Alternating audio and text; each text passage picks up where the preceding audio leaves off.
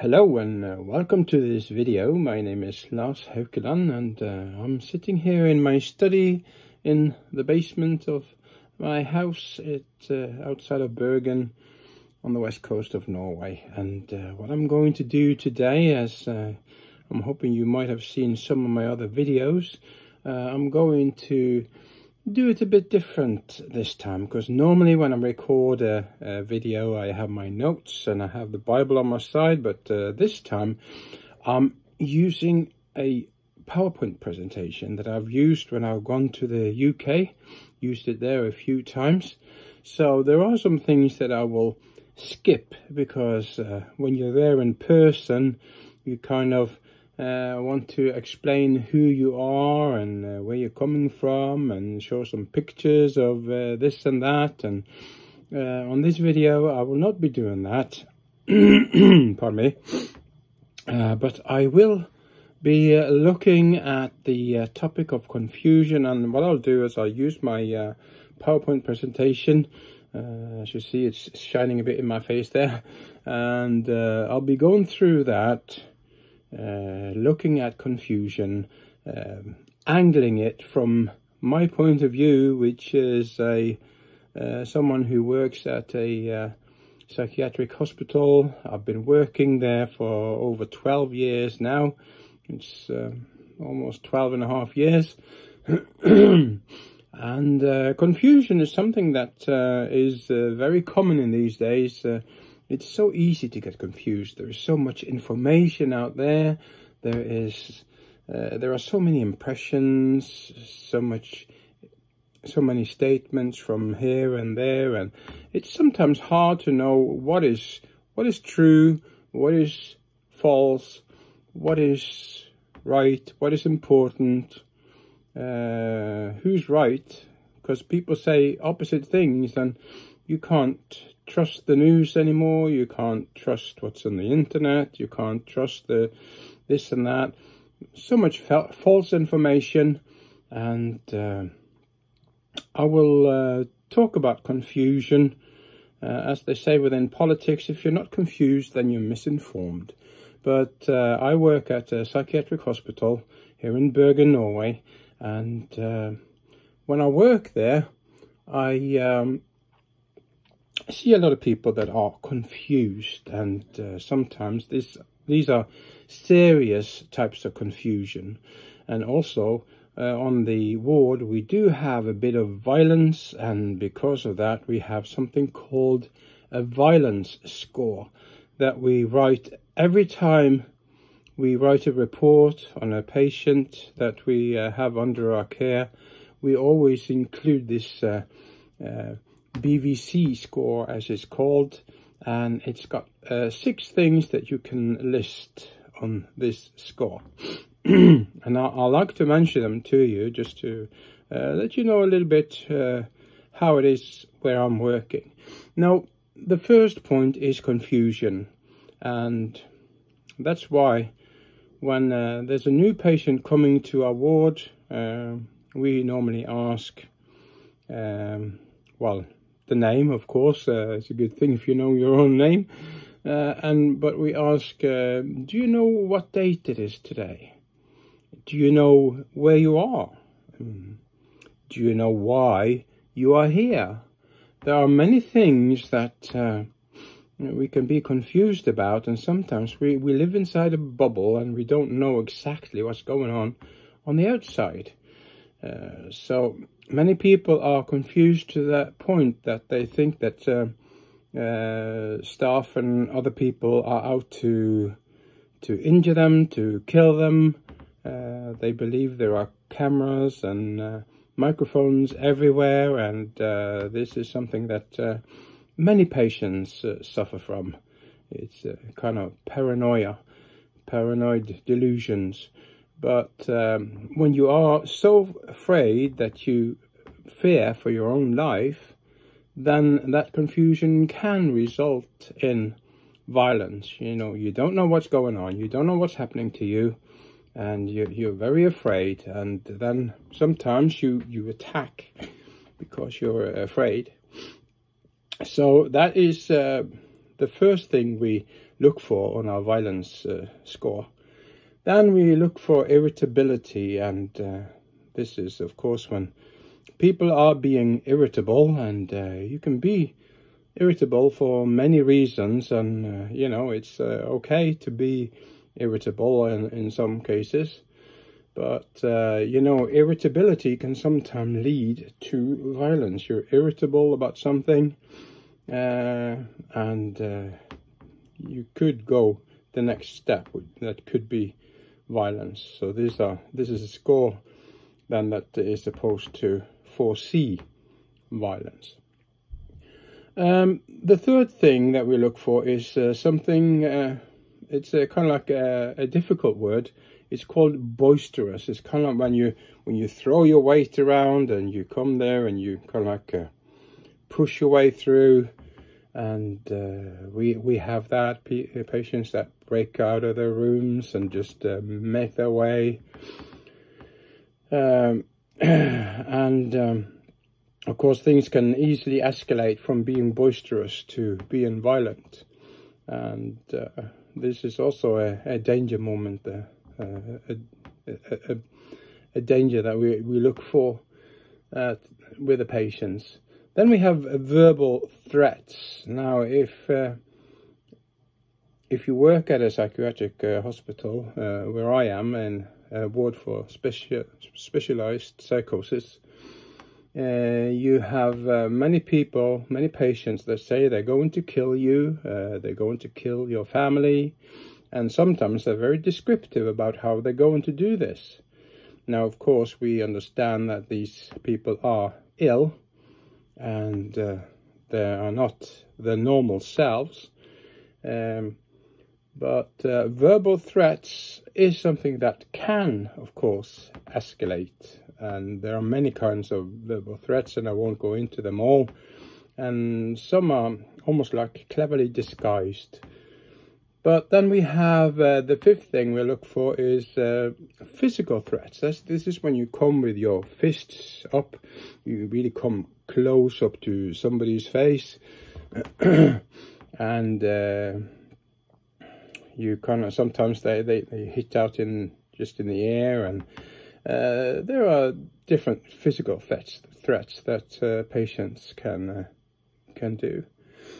Then uh, the last sixth item on our list is uh, attacking objects and this could be that they're kicking the door, hitting the wall, uh, kicking flower flower plants around, um, breaking things, and also uh, as far as uh, the staff is concerned, we're also considered objects, and uh, if they attack one of the staff, this is also being said as attacking uh, objects.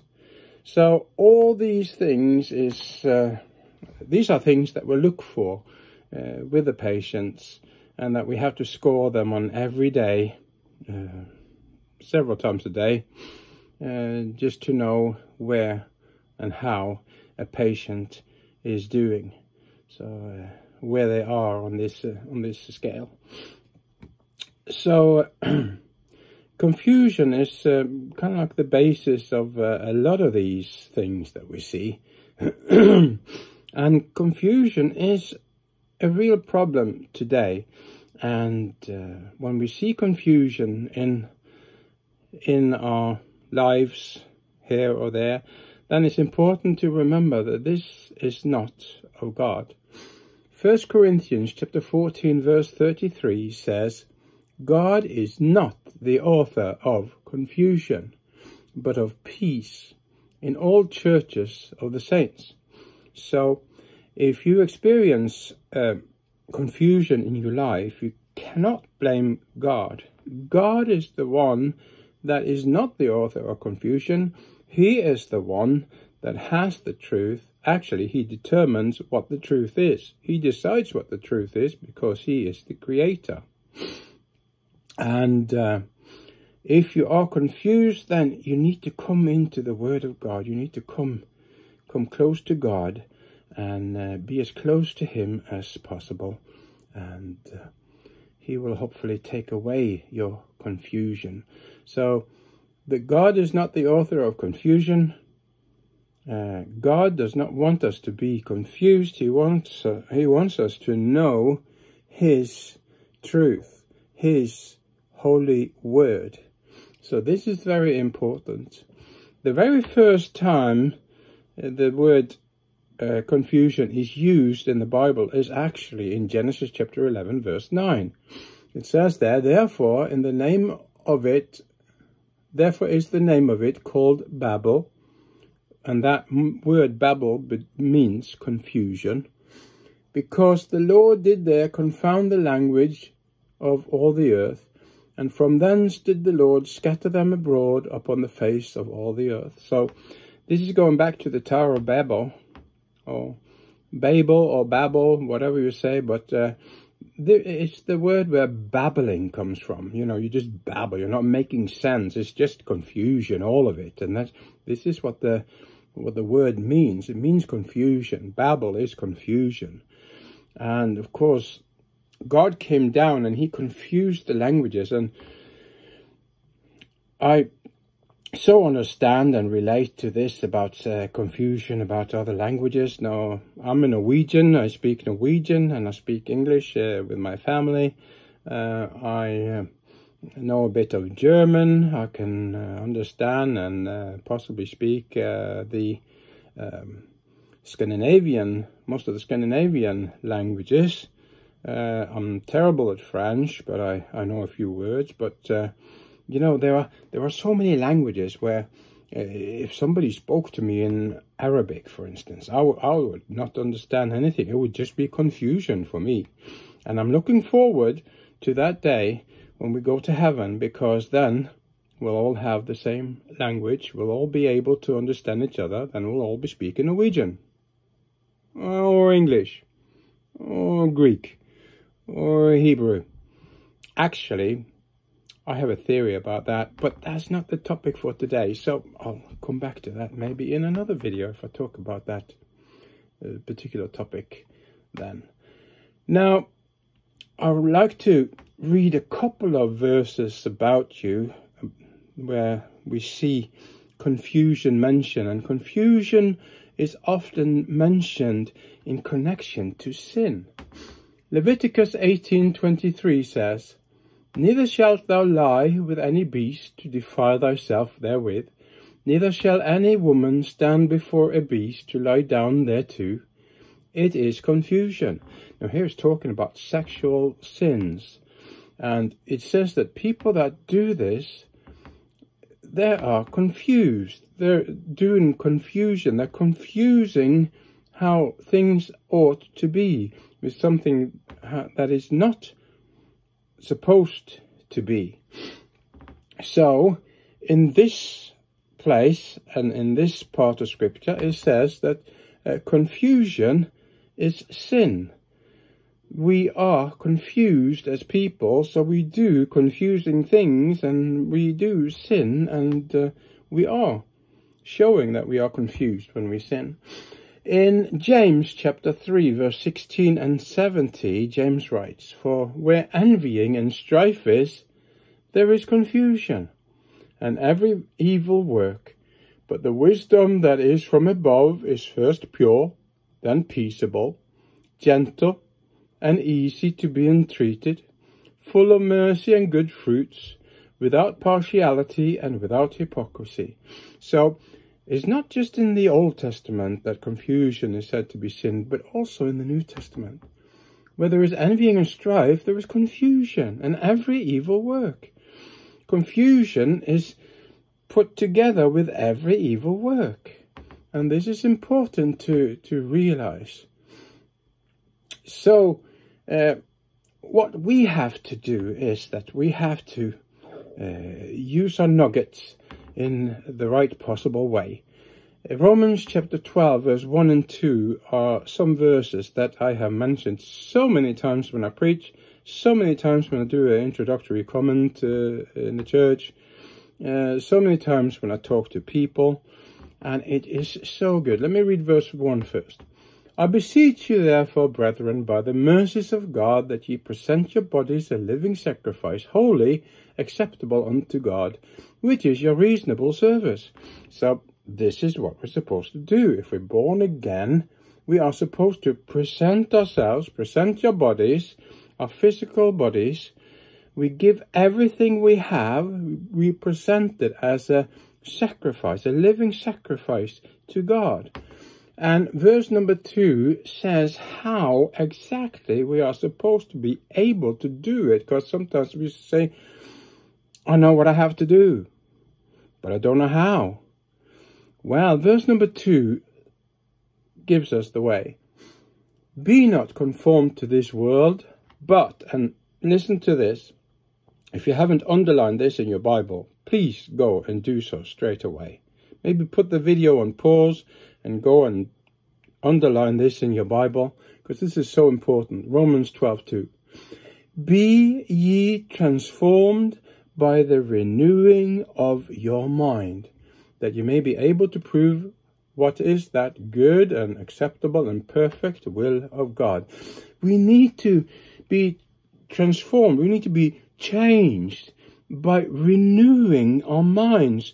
We need to put away the old us and go and become a new creature. When, when we became Christians, our old Christian bodies died, okay? Um, that was the end of the old man. And we started, we were born again for a new life. And we rose up as spiritual beings. Uh, now, of course, spiritually speaking, we are, you know, we're a child of the devil or we're a child of God. But, you know, our, our spiritual lives really start at that moment when we receive Jesus as our Savior. And then we need to renew our mind. And the, what, what we do is we, we replace our old friends, our old parties, our old drinking, our old um, discoing, um, everything that we did before that is uh, sinful, we, we put that away. And instead of that, we get new friends, Christian friends that will help us and lift us up and build us up. We get new activities. We go to church. We go to um, special arrangements and activities that the church provides. Maybe we go and meet people from other churches and we get new activities and new friends that will be a help for us. And we renew our minds, we renew our lives, really. We build up our lives anew and we start being someone else. Now, the world is concerned about the question of uh, the meaning of life. And when they talk about the meaning of life, they got uh, basically four questions they ask. They say, Who am I? Where do I come from? Why am I here? And where do I go when I die? These are the most common questions that people ask themselves. Now, if you are a Christian, you don't have to be confused about this. Who am I? I am a special creation of God. God has made you. You know, where, where do I come from? God made me. He formed me in my mother's body, and I grew up to be a man or a woman. Uh, why am I here? Well, as Christians, we are here to honor God, to give glory to God, to do whatever purpose God has decided for us to do in our lives, to use the gifts and abilities, the talents that God has given us, we are here to use these for Him and try to uh, witness to other people, try to work with other people, try to build up other people. Uh, and um, your job and your uh, purpose might be different from mine, but we all have to honor God and uh, lift him up in our lives. Where do I go when I die? Well, if you're born again, you're going to heaven and you're going to see Jesus face to face. Now that's wonderful and something that every Christian is longing for. If you're not longing for it, then I have serious concerns for you. If your highest wish is not to be with Jesus, then um, I, I do fear for you. But the Bible says that if we believe God, we will go to heaven. Uh, Jesus will uh, take us away from here and uh, he'll make a new heaven and a new earth. If you don't believe in Jesus Christ and don't accept him as your savior, it says that you will be separated from him and you'll be cast into a place that the Bible calls hell. And they, in the Bible describes this place as a, as a place that burns with fire and brimstone. I know it sounds serious, sounds terrible, but that is what the Bible says. But what we need to do, we need to focus on God. This is what I say. I've been been writing in Norwegian. I've been writing these devotional series uh, about fear, about anxiety, about having peace in your life, about uh, getting over sorrow and loss, and all these things that I've been writing about, you know, the, the, the, the solution to everything is to focus on God. Now, Jesus said in John chapter 6, uh, sorry, chapter 14, verse 6, uh, Jesus said, I am the way, the truth, and the life. No man cometh unto the Father but by me. Jesus is the only way to heaven, okay? Jesus is the truth. Jesus is the truth. And if you listen to Jesus, you will know the truth. So believe in Jesus and you'll know the truth. And he is the life.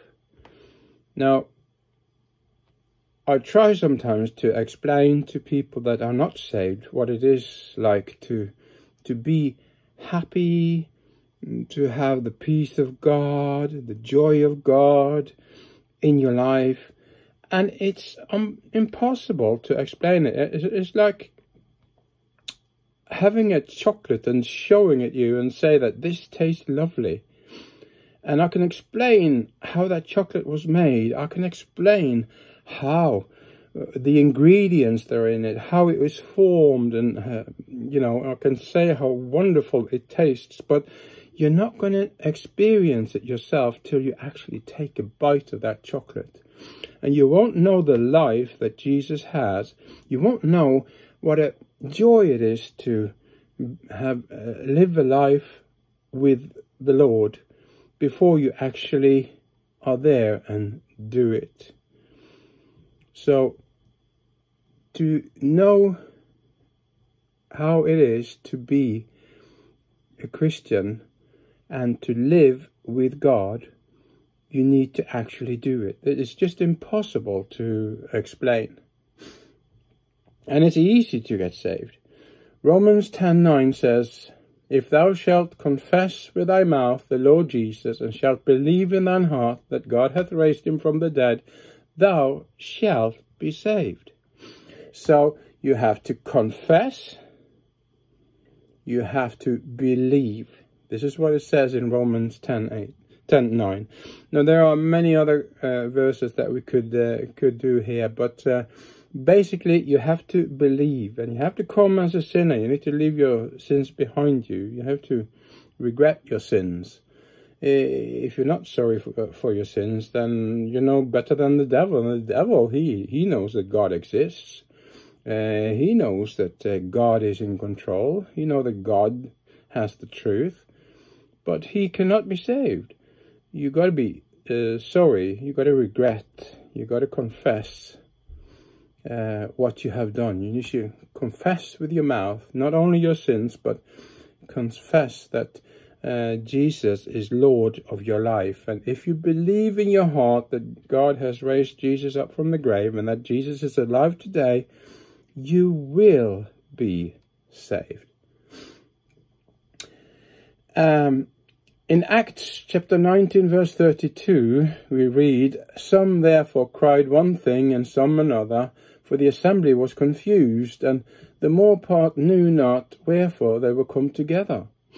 Now, this is a very sad verse. It says that the people that came together to worship God was confused. And uh, the way that we become confused is when we, we try to follow our own opinions instead of what God says.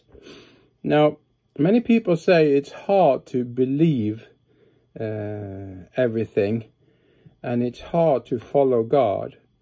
But, you know, it's um, it doesn't matter what I think. What matters is what the Bible says. Uh, some people say it's hard to understand the Bible, hard to understand what it says. You know, there are some places in the Bible, like for instance the book of Revelation, lots of pictures, images, and uh, and these kind of things, and and it means different things, and you need some proper education and uh, and uh, you need to be a mature Christian before you can start uh, understanding complicated things like it says in Revolu uh, Revelation when it gives all these images. But most of the Bible is not hard to understand. Most of the Bible is just hard to accept, hard to believe in. And God is asking you, do you believe? Remember what I said about 1 Corinthians chapter 14 verse 33. God is not the author of confusion. And we get confused and the thoughts go here and there and everywhere. But, you know, just go to the Bible. Go to the, the Word, the Holy Word of God. And He will educate you. If you are a Christian, you have this Holy Spirit living inside you. He will help you understand what the Bible says. And when you have the Holy Spirit to help you, you should not have to be confused. If you sometimes get stuck, try to ask someone that you, maybe someone you look up to, maybe you have a pastor that you trust, maybe you have a good Christian, a mature Christian that has been a Christian for many years. Ask him or her. Get some help because you shouldn't have to be confused. That is not God's will for you. So just go to God. Go to God. Be honest and say to Him if you're confused, and He will help you. I pray that He will send someone to you so you don't have to be confused anymore. I'm hoping that if you look at some of my videos, which is on revlarsvideos.wordpress.com, if you go in here, you find my uh, my English videos, because uh, most of my videos are in Norwegian, and also, of course, you can find them on YouTube. But, uh, you know, I'm hoping that I'll be able to do something in my videos to be able to bring clarity to to some of you who, who watch these videos.